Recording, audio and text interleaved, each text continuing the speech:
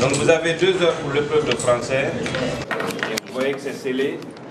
Donc je vais... Euh, ouvrir. euh,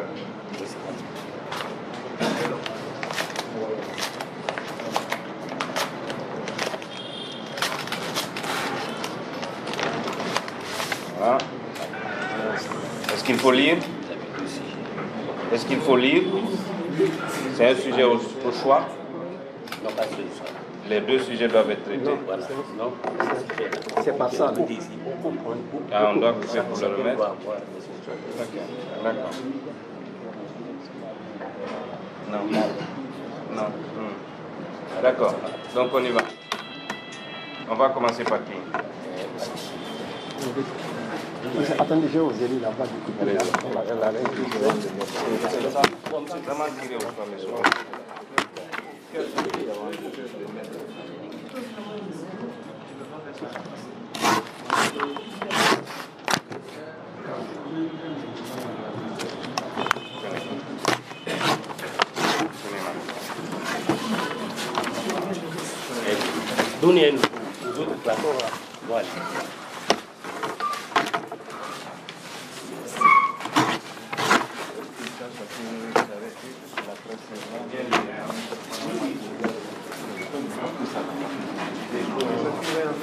Oui, laissez-le dans toutes les salles sont déjà représentées.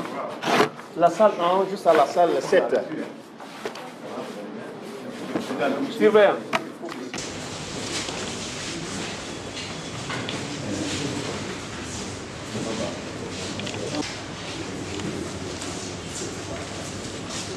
Nous avons constaté ce matin une organisation logistique qui est, euh, qui est assez raisonnable, qui permet à nos apprenants de, de- de passer ces examens finaux euh, dans des conditions de sérénité optima- opt- optimales.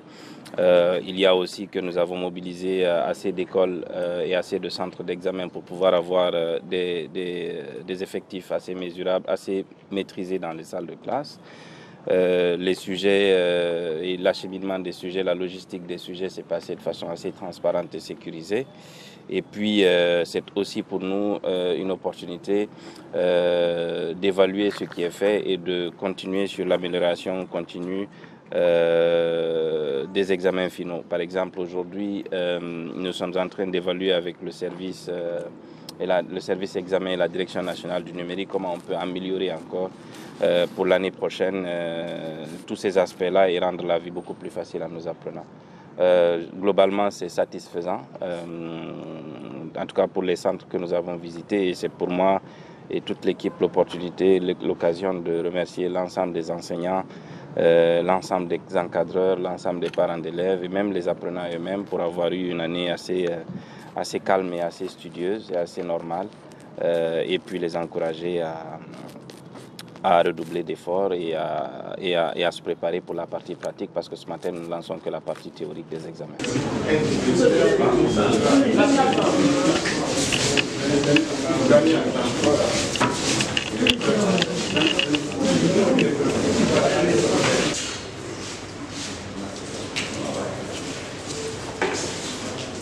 C'est un honneur pour nous d'être là, accompagner le département de l'enseignement technique et de la formation professionnelle à, à cet examen de sortie.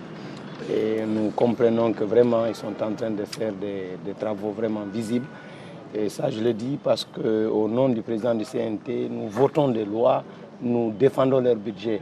Aujourd'hui, si nous voyons dans ces différentes écoles dont nous avons visité que c'est visible et que les étudiants sont dans des conditions prérequis pour faire cet examen, on ne peut que les féliciter au nom de notre institution qui est le CNT. Alhamdulillah, comme on aime le dire, et je l'ai dit tout de suite dans mes propos, nous, nous sommes des personnes qui défendons le budget et les projets de loi de cette institution qui est le ministère de l'Enseignement technique et de la formation professionnelle. Et aujourd'hui, il était important qu'on soit là, voir les choses, comment ça se passe, ce que nous défendons, ce qu'ils nous ont dit, est-ce que c'est ça? Et ça, on est en train de voir que vraiment, ça y va de pair de ce qu'ils ont dit dans la salle des actes en défendant leur budget, en défendant leur projet. Et ce qu'on est en train de vivre ici, ils ne sont qu'à féliciter. Félicitations au ministre et à toute son équipe. Cette année, par rapport à l'année passée, vous savez, l'enseignement technique est en train de grandir. Est en train de monter en flèche. Donc on a cette année 24 875 candidats, publics et privés. 128 filières à évaluer cette année. Par rapport à l'année passée, on avait 124. Et nous avons pour le seul centre de Conakry 31 centres par rapport à l'année passée qui était à 24. Donc c'est pour vous dire que les statistiques euh, sont bonnes. Vous savez, l'enseignement technique, vous avez 30% de théorie et 70% de pratique. Donc l'enseignement technique se repose sur la pratique par rapport à la théorie.